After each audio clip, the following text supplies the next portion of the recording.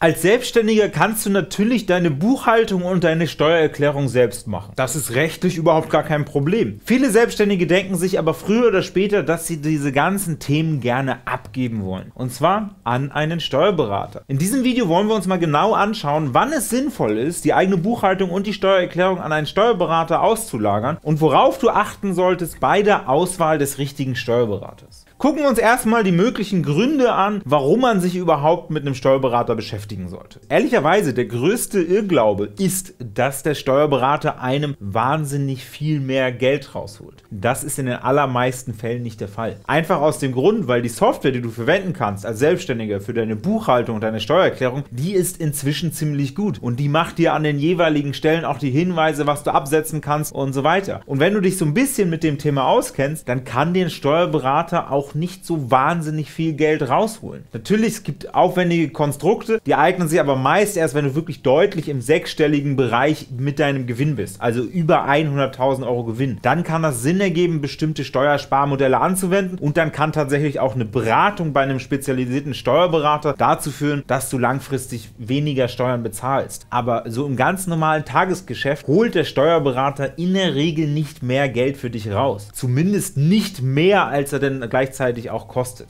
Es gibt zwei Faktoren, die sind viel wichtiger bei der Auswahl eines Steuerberaters. Und zwar sparte dir ganz praktisch einfach Zeit. Und zwar dauert die eigene Verwaltung, also die Buchhaltung, die Umsatzsteuervoranmeldung, die zusammenfassende Meldung, die Steuererklärung, die Einnahmenüberschussrechnung und so weiter. Das kostet einfach Zeit. Und deine Zeit als Selbstständiger ist halt knapp bemessen. Du kannst in dieser Zeit auch irgendwas Produktives tun, also für einen Kunden arbeiten, diese Stunden abrechnen und so weiter. Und es ergibt unternehmerisch durchaus Sinn, dass du dich auf die Dinge konzentrierst, die du gut kannst und die Steuern und die Buchhaltung lieber jemanden machen lässt, der das wiederum besser kann. Das heißt, die Zeitersparnis ist ein wichtiger Punkt. Und gleichzeitig hast du noch noch so einen anderen Faktor, dass das deutsche Steuerrecht jetzt nicht das einfachste der Welt ist. Das heißt, ein Steuerberater spart dir auch eine Menge an Kopfschmerzen. Er denkt dann für dich mit. Wenn der Steuerberater verantwortlich für deine Buchhaltung und Steuererklärung ist, dann muss er sich damit beschäftigen, welche Gesetzesänderungen es gibt. Und wenn du Fragen hast, dann kannst du ihn einfach fragen und musst nicht hier ausführlich irgendwelche Videos auf diesem Kanal anschauen oder irgendwelche Webseiten durchlesen. Deswegen sind meiner Meinung nach die beiden Punkte Zeitersparnis und Ersparnis von Stress die deutlich wichtigeren Punkte als die Geldersparnis. Ersparnis. Wenn du wirklich nur Geld sparen möchtest, dann würde ich dir dringend empfehlen, dass du keinen Steuerberater suchst, sondern lieber alles selbst machst. Schauen wir uns einmal an, was die Kriterien sind für die Auswahl des richtigen Steuerberaters. Also worauf solltest du bei einem möglichen Steuerberater achten, um herauszufinden, ob er der richtige Steuerberater für dich ist.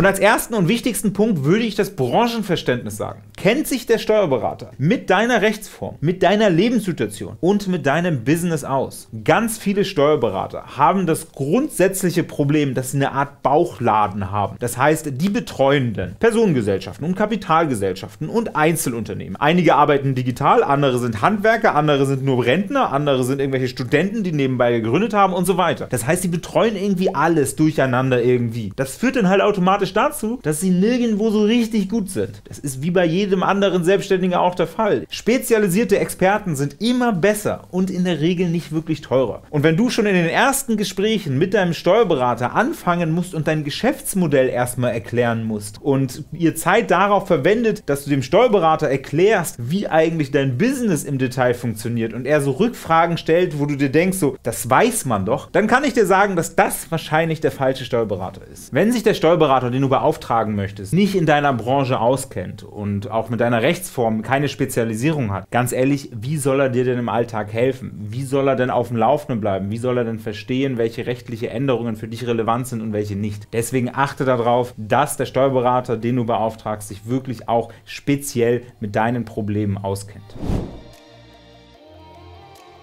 Den zweiten Punkt, den ich persönlich wahnsinnig wichtig finde, ist der Umgang miteinander. Das heißt, die persönliche Wellenlänge. Wenn das nicht passt, dann ist das kein gutes Fundament. Dein Steuerberater weiß unglaublich viel von dir. Es ist nicht nur so, dass er genau weiß, wie viel du verdienst, mit wem du zusammenarbeitest und so weiter. Der kennt unter Umständen auch deine ganzen Krankenhistorie, weil das relevant für die Steuer ist. Der kennt deine Familiensituation, der kennt alle möglichen deine Kinder, zumindest namentlich und welche Beziehungen da familiär vorherrschen, weil das meiste davon auch für die Steuer relevant ist und und so weiter. Das heißt, es sind super sensible Informationen. Und ich hatte in meinem Berufsleben schon häufiger die Situation, dass ich Informationen über unsere Mandanten wusste, was nahe Familienangehörige oder Freunde nicht einmal wussten. Und wenn du ein schlechtes Bauchgefühl hast, dieser Person, mit der du da gerade sprichst, diese Informationen anzutrauen, dann kann ich dir garantieren, dann ist das der falsche Berater. Du brauchst zwischenmenschlich irgendwie eine Möglichkeit zu connecten und auf einer Wellenlänge zu sprechen. Nur dann ist eine erfolgreiche Zusammenarbeit gesichert.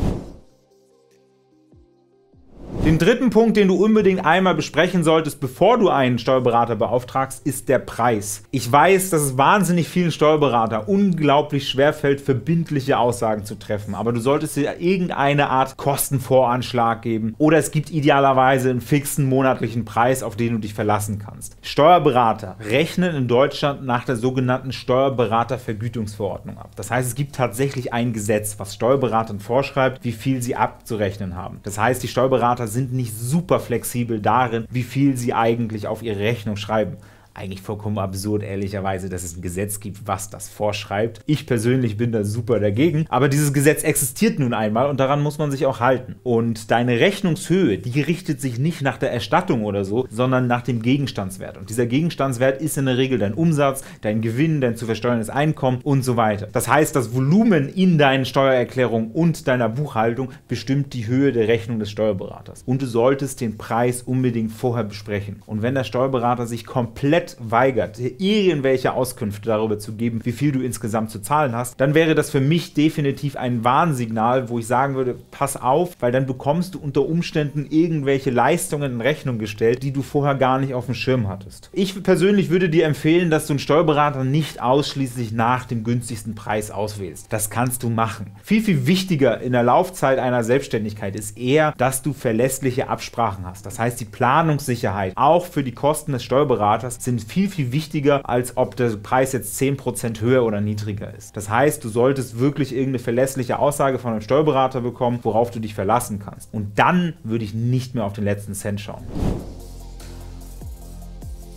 Den vierten Punkt, auf den du achten solltest, wenn du mit einem Steuerberater Kontakt hast, ist die Serviceorientierung. Also wie gut ist dieser Steuerberater erreichbar? Und zwar nicht nur für Neumandate, sondern auch für bestehende. Und wie schnell antwortet er eigentlich auf E-Mails? Wie gut ist der telefonisch erreichbar? Wie funktioniert der ganze Workflow? Wie wird sichergestellt, dass du Hilfe bekommst, wenn du Hilfe brauchst? All solche Dinge sind wahnsinnig wichtig und ich lese und höre manchmal absolute Horrorstories, dass da Mandanten drei, vier Mal eine E-Mail an den Steuerberater schreiben und über Monate kein Feedback bekommen. Das darf nicht sein. Du bist Kunde und solltest auch so behandelt werden. Das Ding ist einfach, in Deutschland ist der Berufsstand der Steuerberater aktuell wahnsinnig überlastet. Und das führt leider immer wieder dazu, dass man als Mandant teilweise lange warten muss. Aber meine persönliche Meinung ist, dass die Kommunikation absolut entscheidend ist. Und wenn das schon ganz am Anfang schwierig wird, dann ist das vielleicht nicht das beste Anzeichen. Und dann würde ich dir auch empfehlen, lieber zu einem anderen Steuerberater zu gehen.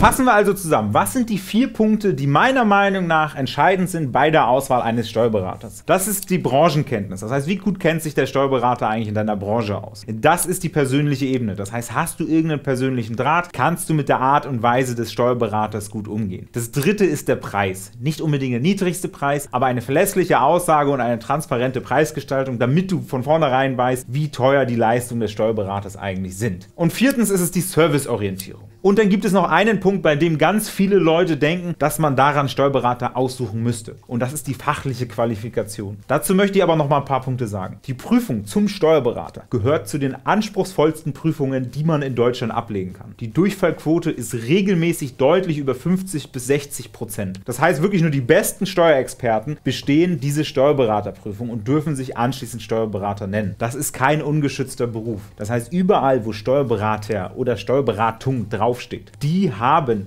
diese Berufsträger, die diese Qualifikation erreicht haben. Und die kennen sich in der Regel fachlich deutlich besser aus als die Anforderungen, die du an sie stellst. So für dein ganz normales Tagesgeschäft reicht jemand, der sich Steuerberater nennen darf, vollkommen aus. Wenn du irgendwelche Spezialanliegen hast, dann kannst du auch immer zu einem Experten gehen. Ich vergleiche das manchmal ganz gerne mit einem Arzt. Da hast du auch einen Hausarzt und dann gibt es Spezialisten, wo du hingehst, wenn du bestimmte ja, Leiden hast. Genauso würde ich das Ganze bei einem Steuerberater Steuerberater sehen. Du hast deinen Steuerberater, der kann sich um deine ganzen täglichen Buchhaltungen, Steuererklärungen und so weiter kümmern. Aber falls du mal ganz außergewöhnliche Anliegen hast, wo dein Steuerberater kein Experte ist, zum Beispiel eine Erbschaft oder zum Beispiel ein Unternehmenskauf und all solche Sachen, da kannst du auch immer zu einem Experten gehen, der sich auf solche Problemstellungen spezialisiert hat.